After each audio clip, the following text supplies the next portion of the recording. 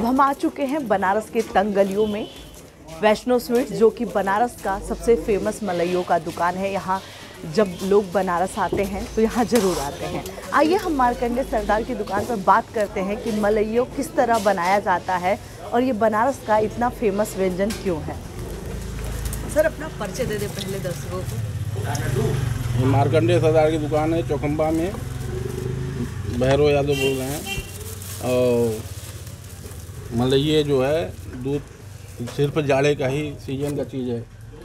इस रात को खौला के छत पर रखा जाता है ओस जो गिरता है उसके बाद मत के केसर लाची डाल के बनाया जाता है। जी कितनी साल पुरानी है आपकी ये सौ साल पुरानी है हमारे दादाजी इस समय की दुकान है।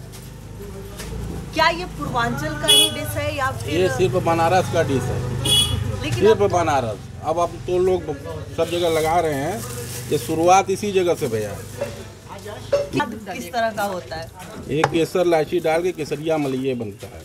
ये दूध का फेन होता है। रात को खौला के जो है छत पर रखाता है। जो ओस की बूंद गिरती है उसको सुबह मथा जाता है। लगभग कितने घंटे आप लोग रखते होंगे ये रात भर रहता है छत पे। ये ओस की बूंदें जो गिरती हैं उसी के आधार पे बनता है। जिसके बाद ये जाड़े के बाद नहीं मिलेगा। ये फेन निकलबे नहीं करेगा। ये सिर्फ़ ठंड में ही निकलता है।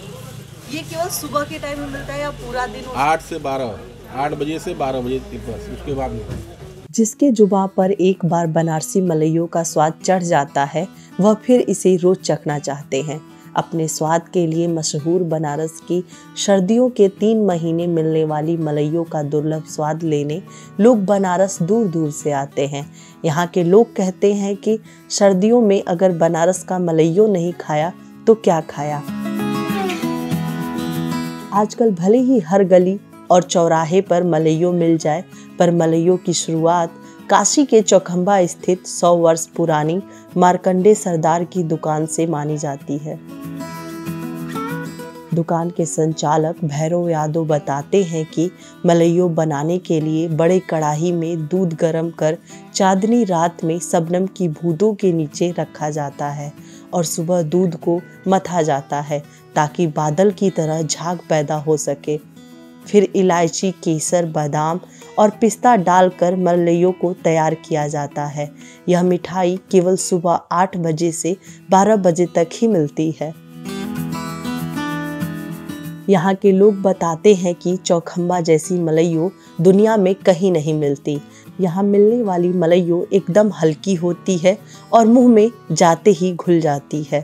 बनारस के लोग सर्दियों में सुबह सुबह चाय की जगह मलइयों ही खाना पसंद करते हैं। यहाँ के बच्चे बताते हैं कि वह सुबह उठकर स्कूल जाने से पहले मलइयों का स्वाद चखकर ही जाते हैं। छोटे बच्चे भी रोज अपने माता पिता के साथ मलइयों खाने आते हैं। ओस की बूंदों में तैयार होने वाले मलइयों केवल स्वादिष्ट ही नहीं, बल्कि आयुर्वेदिक दृष्टि से भी बहुत गुणकारी होती है। ओस की बूंदों में पाए जाने वाले प्राकृतिक मिनरल्स त्वचा को लाभ पहुंचाते हैं। मलइयों में इस्तेमाल केसर, बादाम शक्तिवर्धक होते हैं। ये शारीरिक ताकत को बढ़ाते हैं।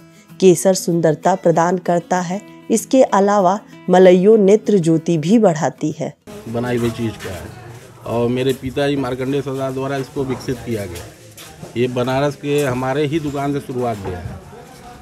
और इसकी बनाने की विधि है ये रात सुबह खौला के दूध रात को ओस में रखाता है। जो ओस की बूंद गिरती है वो सुबह जो है इसको मथा जाता है। मतने के बाद इसमें इलायची केसर पिस्ता ऊपर से ड्राई फ्रूट डाल के तैयार किया जाता है। आइए अब यहाँ आने वाले लोगों से जानते हैं कि मलइयों का टेस्ट कैसा होता है और इतना क्यों लुभाता है लोगों को मलइयों? अपना नाम बता दो। मेरा नाम शाश्वत अग्रवाल है। मैं क्लास नाइन में पढ़ता हूँ। यहाँ सुबह मेरे मैं जैसे ही सुबह होता है मैं मलइयों खाने आ जाता हूँ। यहाँ मलैयो बनारस में मलइयों नहीं खाया तो और क्या खाया? बनारस में मलइयों बहुत ही फ़ेमस है। बनारस में आइए तो मलैयो ज़रूर खाइए।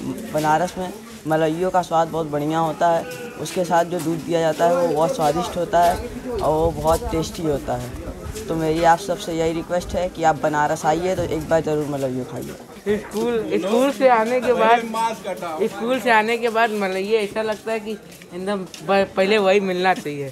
उसके बाद ही कुछ। बताइए जो बनारस की सबसे फ़ेमस व्यंजनों में से एक मलैया बनारस के चौखम्बा क्षेत्र के हमारे मार्कंडे सरदार जी के पिताजी के ज़माने से फ़ेमस है। हम लोग बचपन से आज खाते आ रहे हैं। जो स्वाद जो चीज़ यहाँ मिल जाती है पूरे इंडिया में कहीं नहीं मिलेगी। लेकिन अब तो मलइयो अ, उत्तर प्रदेश के कई शहरों में हाँ कई शहरों में मिल रही लेकिन आप इस यहाँ का खा के देखिए और बाहर का खा के देखिए नीचे वहाँ बाहर वाले बर्फ़ रखे रहते हैं। उसमें क्रीम डाल देते हैं वो वज़न हो जाता है। इसमें वज़न नहीं होता है। आप एक पुरवा दो पुरवा भी आप खा लीजिएगा आपको ज़रा सी भारीपन नहीं लगेगा। बाहर का खाइएगा आपको वज़न लगेगा। इसमें ओरिजिनल कलर पड़ता है ओरिजिनल केसर पड़ता है इलायची पड़ती है पिस्ता की हवाई पड़ती है। तो क्या कहेंगे कि सर्दी में आए तो मलइयो आप सर्दी में बनारस आए तो इस चौखम्बा क्षेत्र की मलैया ज़रूर खाएँ। जो चौखम्बा क्षेत्र की मलैयों में स्वाद मिलेगा वो आपको ऑल इंडिया कहीं नहीं मिलेगा। सर्दियों में अगर बनारस आइए तो मलैयो ज़रूर खाइए। यहाँ के लोग कहते हैं, बनारस आए और मलइयो नहीं खाए तो क्या खाए? जी हाँ विश्वनाथ टेंपल के जस्ट बगल में गली के अंदर चौखम्बा करके जगह है, जहाँ मार्कंडे सरदार जी की दुकान है। कहा जाता है कि यह सौ साल से भी पुरानी दुकान है और इन्हें मलैयों का जनक भी कहा जाता है। कहा जाता है कि इन्होंने ही मलैयों की शुरुआत की थी। प्रभा साक्षी से आरती पांडे, बनारस। अगर आप भी लेना चाहते हैं देश दुनिया की तमाम जानकारी तो आज ही सब्सक्राइब करें हमारे चैनल को।